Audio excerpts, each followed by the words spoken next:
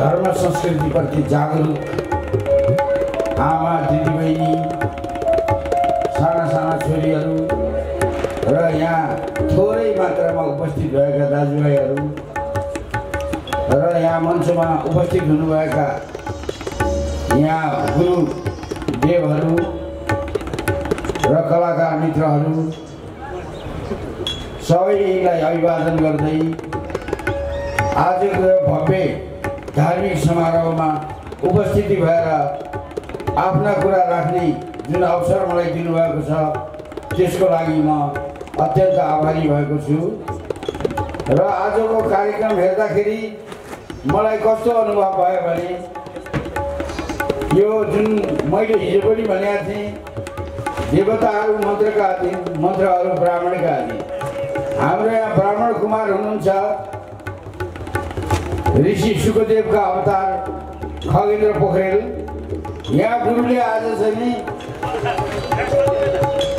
समग्र यो हिमालय खण्ड जुन हाम्रो देश हो हिमवत खण्ड भन्थ्यो यसलाई यो। हिमवत खण्डका महाराजा धिराज हिमालय हुनुहुन्छ। र उहाँकी अर्धाङ्गिनी मेनका होइन त? मेनका पनि हुनुहुन्छ।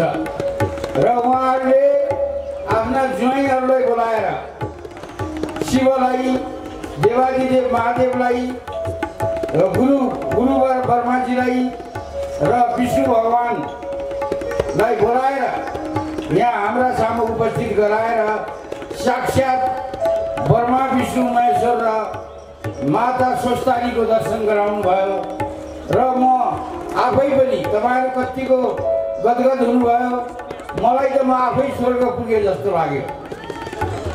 र स्वर्गमा छौँ जस्तो लाग्यो। यो तपाईँको अहिले दुष्ट पापीहरूले भरिएको काठमाडौँलाई फेरि स्वर्ग बनाउने अभियान। गुरुले आज यो स्वयं शिव यहाँ चाहिँ मृग अवतारमा चर्ने गरेको ठाउँमा आज शिवलाई फेरि जीवित सशरीर उतार्नुभयो। पार्वतीलाई उतार्नुभयो हिमालय खण्डका हिमवत खण्डका महाराजा धिराज हिमालयलाई उतार्नुभयो उनकी रानीलाई उतार्नुभयो वर्माजी र विष्णु भगवान्लाई उतार्नुभयो र यस्तो लाग्यो कि हामी चाहिँ आज हामी सबै स्वर्गमा पुगेका छौँ जस्तो अनुभव भयो। यसरी धरतीलाई स्वर्ग बनाउने गुरु खगेन्द्रको फेरि अर्को के कार्यक्रम रहेछ भने नेपालीहरूले हरेक आमाले बच्चा तिनवटा पाउनुपर्ने र तिनवटा बच्चामा एउटा बच्चा चाहिँ यो चाहिँ हाम्रो जुन गुरुको महारुद्र परिवारलाई सुम्पिनुपर्ने भन्नुभएछ। गत वर्ष यहाँ गुजरातका शङ्कराचार्य आउनुभएको थियो। उहाँले मलाई बोलाउनु भयो र तैँले टेलिभिजनबाट यो कुरा भन् भन्नुभयो। के भनौँ गुरु भनेको? हिन्दूका ओमकार परिवारका हरेक माताले अब दसवटा छोरा उत्पादन गर्नुपर्छ भन्नुभयो मुसलमानहरूले चारवटा बिहा गर्ने अनि चार चार छोराका रूपमा पनि सोह्रवटा छोरा हुने भयो उनीहरूका। र हाम्रा त चाहिँ कहिल्यै पनि सङ्ख्या नबढ्ने हो उनीहरूले ढाक्दै जाने भए।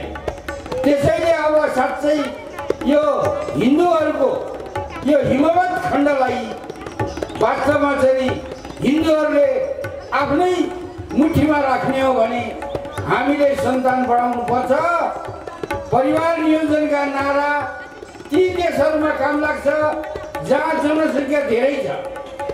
हामी कहाँ त जनसङ्ख्या धेरै छैन जमिन पनि प्रशस्तै छ र दस दसवटा सन्तान उत्पादन गर्नुपर्छ भन्नुभएको थियो।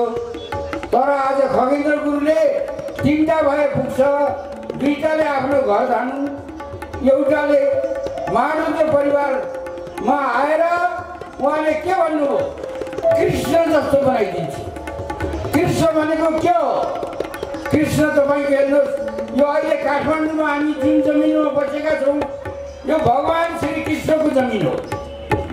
यहाँ चाहिँ पोखरी नेपालीको यहाँ पोखरीमा एउटा परम सुन्दरी उषा भन्ने राजकुमारी उषा बाणासुरकी छोरी राजकुमारी उषा एउटा ढुङ्गाको डुङ्गामा नाङ्गै सुतेर घाम। यो चाहिँ के अरे सूर्य स्नान गरिरहेकी रहेछन्। र उनलाई देखेछ उनको भाइ उनको आफ्नै दाई महेन्द्र भन्नेले महेन्द्रले उषालाई नाङ्गै देखेपछि देखि सहनु भएन। उसले गएर आफ्नो बहिनीमाथि हातपात गर्न खोज्दाखेरि उषाले आह्वान गरिन् के आह्वान गरिन् भन्दाखेरि हे श्रीकृष्ण तिमीले द्रौपदीलाई मात्रै बचाउने आफ्नै बहिनीलाई मलाई पनि बचाऊ भनेपछि श्रीकृष्णले थाहा पाउनुभयो र उहाँले महेन्द्रले भन्नुभयो ए पापी आफ्नै बहिनीलाई यस्तो गर्ने त चुप लाग्छस् कि तँलाई हानिदिउँ भनेर भनेपछि जे गर्न मन लाग्छ मेरो बहिनीलाई म जेसुकै गरौँ तँलाई के खाँचो भने? राक्षस त भइहाल्यो महेन्द्र त्यसपछि गएर उहाँले सुदर्शन चक्र चलाउनु भयो त्यो सुदर्शन चक्र चौहारको डाँडामा छ्यास तल अलिकति। महेन्द्रको त घाँटी पनि काट्यो उता चौहारको डाँडा पनि काट्यो। र पानी जति बाहिर गएको यसरी हामी यो बस्ने जमिन जुन छ नि यो भगवान् श्रीकृष्णले आर्जन गरेको हो। उहाँ राधे राधे भन्नुहुन्छ नि। अब राधे राधे भन्नुहोस्। र उहाँ श्रीकृष्णले यो निर्माण गरेको भूमि हो। यो कुरा मैले योगी नरहरिनाथले लेख्नु भएको पशुपति मतममा पढेको। पशुपति मतममा यो कुरा छ। र आज यहाँ चाहिँ भगवान्हरूलाई देवी देवताहरूलाई यहाँ हाम्रा बिचमा खगेन्द्र गुरुले मन्त्रद्वारा तानेर ल्याउनु हो। नसाइरहनु भएको छ।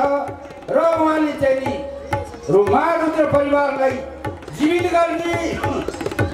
र तपाईँको एउटा छोरा तिन छोरामध्ये एउटा छोरा कसलाई दिने महारुद्र परिवारलाई किन दिने? कृष्ण बनाउने भन्नुभयो। कृष्ण हाम्रो मुक्तिदाता मानव मातृको मुक्तिदाता अरू जस्तो किन? सोह्र कुराले युक्त भएको एउटा पूर्ण पुरुष।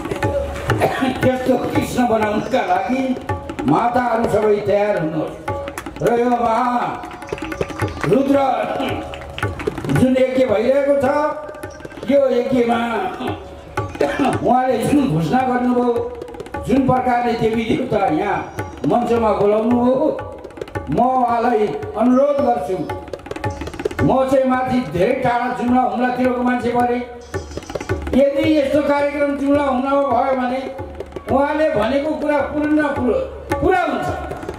किनभने उहाँ आफ्नो सरस्वती पढाउनु बडा गाह्रो छ उहाँ मान्छेलाई। यहाँ काठमाडौँमा बसेका सबै ठुला ठुला हाकिमका अर्धाङ्गिनीहरू छन् यहाँ। उनीहरूलाई त आफ्नो सरस्वती अस्ट्रेलिया कसरी पठाउने जापान कसरी पठाउने अमेरिका क्यानाडा कसरी पठाउने बेलायत कसरी पठाउने भन्ने भइरहेको छ। उहाँले बेलायत पठाउने कहाँ यहाँ एउटा छोरा देऊ भन्यो भने सबैले अहिले दिइहाल्छ तर कृष्ण बनाउँछु भनेपछि क्या हो क्या? हो कसैले दिँदैन तर उहाँ यदि दार्चुला पुग्नुभयो मुगु पुग्नुभयो यदि उहाँ चाहिँ ताप्लेजुङ पुग्नुभयो भने भर्खरै बच्चाहरू उहाँको पछाडि आउँछ त्यसैले महारुद्र यज्ञ चाहिँ उहाँले काठमाडौँमा सुरुवात चाहिँ ठिक छ जहाँ देवादिदेव महादेव बस्नुभएको ठाउँमा गर्नुभयो तर हिमालय कहाँ बस्थे? महादेव कहाँ बस्थे? महादेवको दरबार कहाँ थियो भन्यो भने त्यो खोज्नलाई जुम्ला हुँदै जानुपर्छ। राजकोट नगरपालिका मेरो जन्मस्थान हो। त्यही छ मौलाकोट दरबार। शिवको दरबार जहाँबाट उहाँले ब्रह्माण्डमाथि ब्रह्माण्डका एक हजार तारा ग्रहमाथि शासन गर्नुभएको थियो। जहाँ उहाँको बिहा भएर आफ्नो घरमा जहाँ उहाँका नन्दी भृङ्गीहरू पार्वती बिना अथवा चाहिँ नि शिव एक्लै भएको बेला सब अप्ठ्यारोमा थिए अघि चाहिँ नि स्वयं हिमालय र चाहिँ नि शिवले पनि आफै आफ्ना ससुराको प्रत्युत्तरमा भन्नुभयो। र अब मलाई पाँचै मिनट बोल्नु भनेको तपाईँहरू सब प्रसादको प्रतीक्षामा हुनुहोला नाच्दा नाच्दा थाक्नु भएको होला। आज दुर्गाहरूले साह्रै अचम्मसँग नाच्नुभयो यहाँ। र साह्रै स्वर्गबाट अप्सराहरू नै झरेका हुन् जस्तो लाग्यो। र यो नानीहरू जो नाचेका थिए तिनीहरूलाई एउटा कुरा भन्न मन लाग्यो म अहिले पेसाले पत्रकारिता त म पुरानो पत्रकार हुनु वरिष्ठ भन्छन् सबैले तर अहिले पेसाले म चाहिँ प्राकृतिक उपचार गर्ने डाक्टर डाक्टर भन्छन्। डाक्टर त म भनिन चाहँदैन किनभने डाक्टरले केमिकल खुवाएर मान्छेलाई सबलाई चाहिँ मार्ने काम गरिरहेका छन्। तर म चाहिँ के भन्छु भने म प्राकृतिक चिकित्सक हो। र मलाई के लाग्छ भने जसले सानो बच्चाहरूले जस्तो सबै कुरा बिर्सेर जो नाच्छ नि त्यसलाई कुनै पनि रोग लाग्दैन। र यदि रोगी छ भने त्यो निरोगी भइहाल्छ र त्यसमा नाच्दाखेरि अझ ढुङ्गाका कण भएको ठाउँमा नाङ्गै खुट्टा नाच्यो भने त कसैको शरीरमा यदि मोटापा छ भने पनि त्यो तुरुन्तै गइहाल्छ कुरो बुझ्नुभयो? हाम्रो खुट्टाको तल अकुप्रेसर भयो भने यहाँ जौ छर्ने किन गरेको? जौ छरेर हिँड्दाखेरि तपाईँको यहाँ सत्वित छर्ने भन्छ नि। हो त्यो छरेर हिँडे पनि हाम्रो शरीरको मोटापा खतम भइहाल्छ। पिङ खेले पनि हामी धेरै स्वस्थ भइहाल्छौँ। पौडी खेले पनि स्वस्थ भइहाल्छौँ। र त्यसबाहेकका अरू स्वस्थ हुने तरिका के छन्?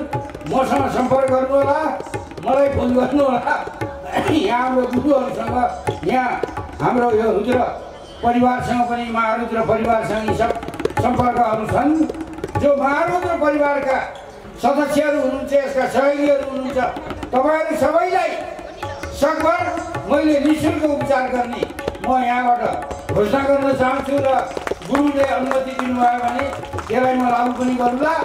र महारुद्र परिवारमा परिवारलाई यदि एउटा बच्चा दिनुहुन्छ भने ती सब बच्चाहरूलाई प्राकृतिक चिकित्सक बनाउने मेरो आजै वचन दिन्छु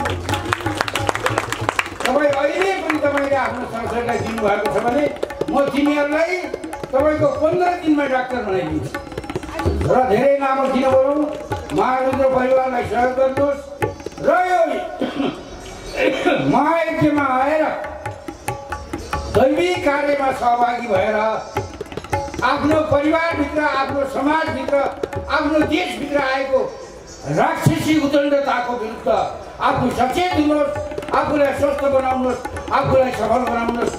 मेरो शुभकामना छ। जय गोरख